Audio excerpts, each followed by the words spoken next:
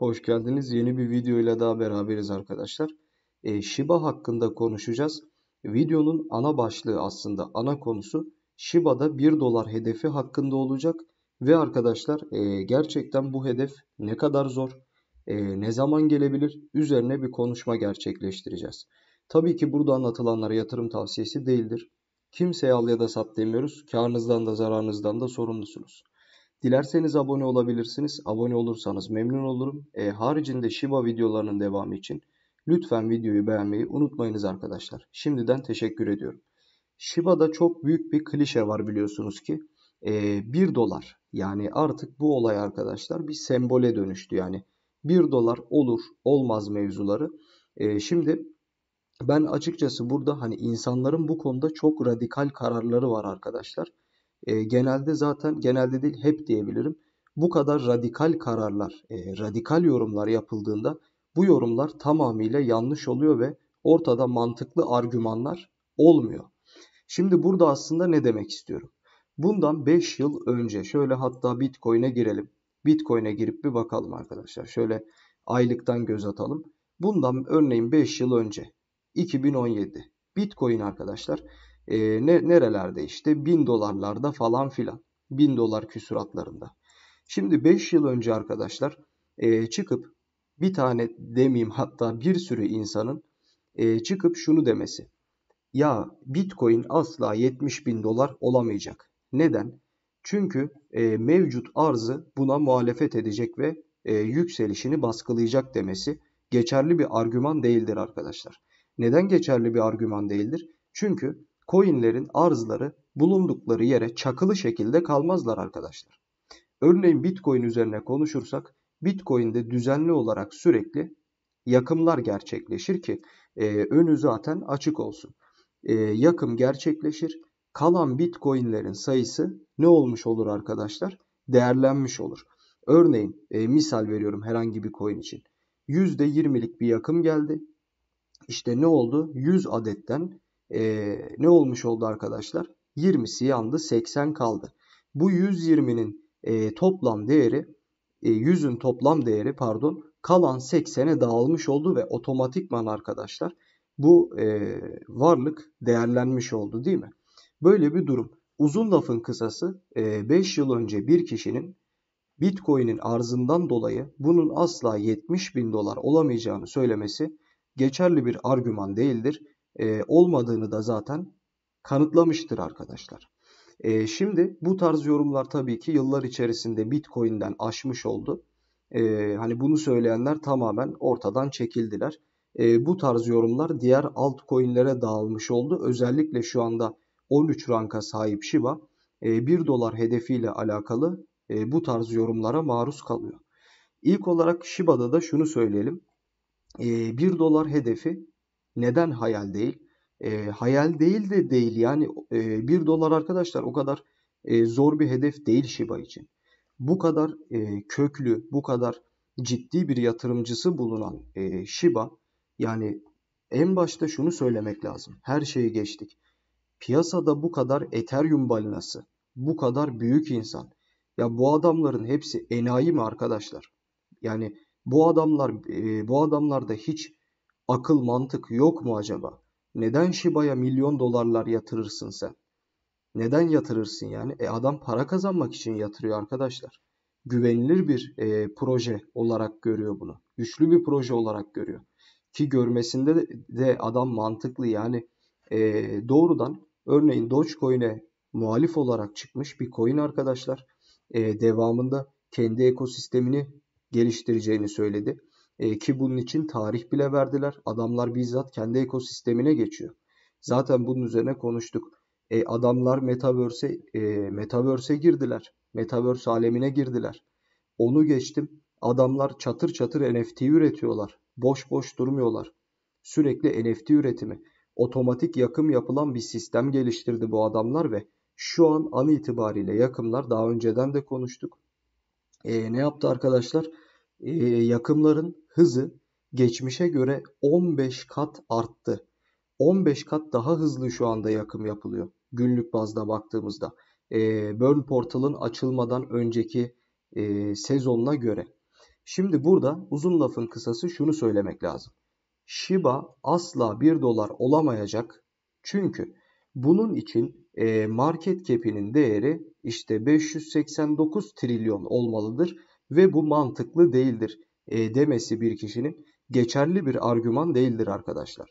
Çünkü evet şu anda e, hatta daha doğrusu dolaşandan diyelim e, 549'luk bir e, dolaşanının olması bu coin'in her zaman 549'luk bir dolaşımının olacağını göstermiyor arkadaşlar. Biz burada zaten bugünü değil ilerisi hakkında konuşuyorsak eğer ileride olup olmayacağı hakkında konuşuyorsak bizim burada market cap'inin değeri bu kadar olamayacağı için 1 e, dolar olamayacak dememiz tamamen e, boş bir argümandır ve hiçbir geçerliliği yoktur. Burada bizim söylememiz gereken şu. Örneğin tam olarak kaç kişi e, şunu biliyor? Shiba arkadaşlar 1 katrilyonla arzına başladı. Shiba açıldığı günden bu yana bakın açıldığı günden bu yana arkadaşlar Shiba doğuşuyla birlikte hali hazırda arzının yarısını yaktı. Arzının yarısını yaktı arkadaşlar bu adamlar. Bakın arzın yarısı yandı. bu yakımların büyük çoğunluğu nerede geldi size e, onu da söyleyeyim hemen. Şuradan e, direkt günlüğe geçelim. Bu yakımların arkadaşlar büyük bir çoğunluğu bakın şu kısımlarda geldi. Bakın şuralarda geldi. Daha doğrusu yakım gelmedi. Buralardan toplanıldı arkadaşlar. Büyük meblalar. Devamında zaten e, yakıldı. Tamam mı? Yani uzun lafın kısası genelde bu işin toplama etabı daha çok zaten e, sonraki partiye işte 2021'de e, toplama etabına girdiklerini aşağı yukarı bilebiliyoruz. Çünkü özellikle 2020'deki hareketlerde fiyat düşük olmasına rağmen yetkililer burada arkadaşlar yakımdan daha ziyade e, pek çok farklı şeye yatırım yaptılar ki yapmak zorundalar zaten. Yeni coinlerde de her zaman böyledir. Adam çatırt diye yakamaz. Yakmak için toplayamaz. Çünkü piyasaya daha yeni girdi. Deli gibi reklam yapması lazım. Teknik bakımdan kendisini sürekli geliştirmesi lazım. E, işin temelini oturtması lazım. Yakım ondan sonra gelir arkadaşlar.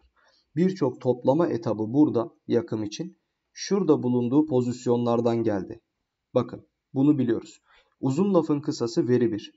Shiba açılışından bu yana arzının yarısını yaktı arkadaşlar. Arzının yarısı yandı.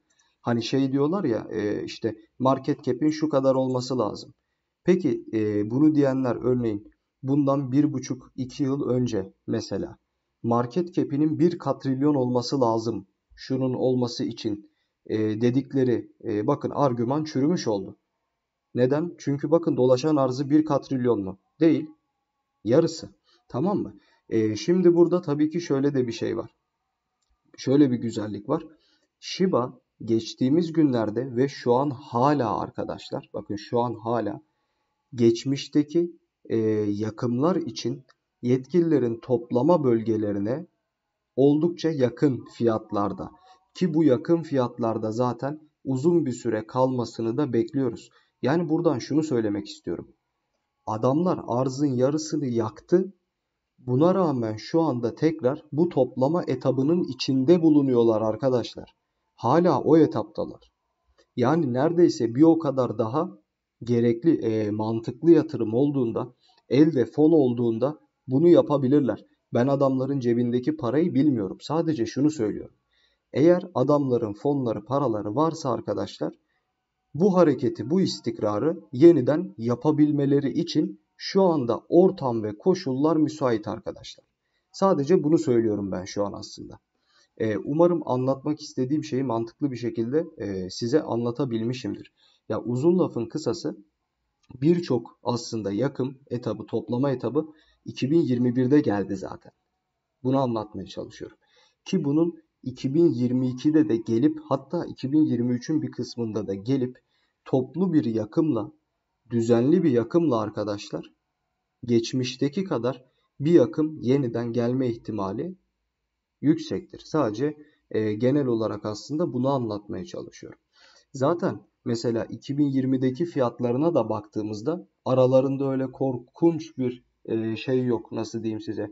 E tabii ki e, maliyet farkı var. Bakın bunu söyleyeyim maliyet farkı var. Shiba o zamanlara göre çok çok değerlendi. Çok fazla sıfır attı. Ama o sıfırlar atılırken arkadaşlar e, bu Shiba yetkilileri de kuruluşu da boş durmadı yani bu adamların ceplerine takır takır para geldi arkadaşlar siz hani ne yaptınız anlatabiliyor muyum?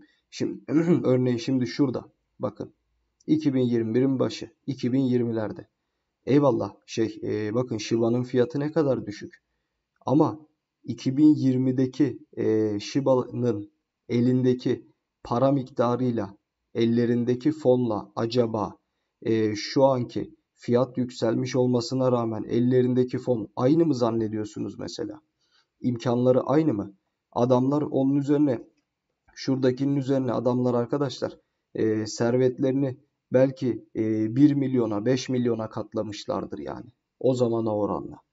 O yüzden arkadaşlar uzun lafın kısası özellikle normalde mantıklı açıdan baktığımızda gerekli fonlamalar yapılsa 2023'te bile ATH bölgelerini arkadaşlar 1 dolar olarak e, belirleyebilme potansiyeline sahip olacaktır Shiba. Bu tabii ki e, şey durum yani maksimum durum. Şu an bu kadar toplayabildiklerini zannetmiyorum. Ama sadece şunu söylemek istiyorum. Toplanabilse ortamlar müsait. 2023 olmaz 24 olur. 25 olsun hadi. Yani elde tuttuğunuzda arkadaşlar bunlar e, ciddi oranlar. Durumlar da böyledir. İzlediğiniz için teşekkür ederim. Abone olup videoyu beğenebilirsiniz. Bol kazançlar diliyorum. Hepinize hoşçakalın.